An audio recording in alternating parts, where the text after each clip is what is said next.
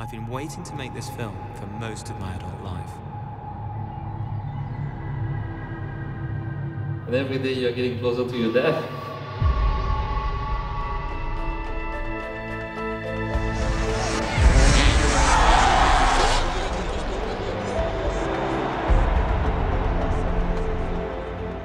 And at first, I think it's a joke. I mean, here's this guy, he's a business consultant. He doesn't look particularly fit, and he's planning to take part in the Dakar Rally. It's like you're breathing out and you go, here we go, here we go, this is it. This is the start of the Dakar Rally.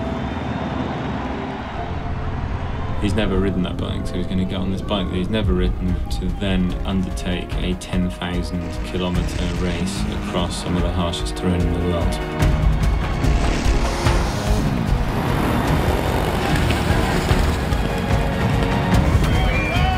We've got a bloody amazing story. The body just wants to keep on moving forward. And the mind is no longer driving the body, the body is driving the mind. The race is just a vehicle, it's all the things that you go through all year long trying to beat the time. The time is not stopping. It's hell here. This is just hell.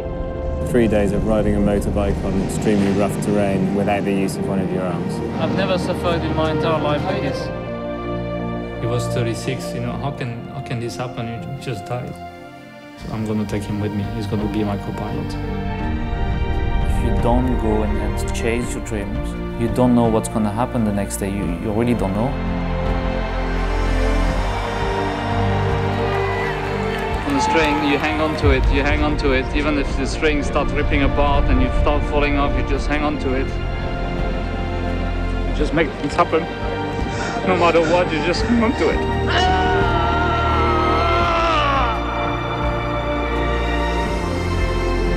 What is it that you have done in your life that makes you say, yes, I'm happy having had such a life?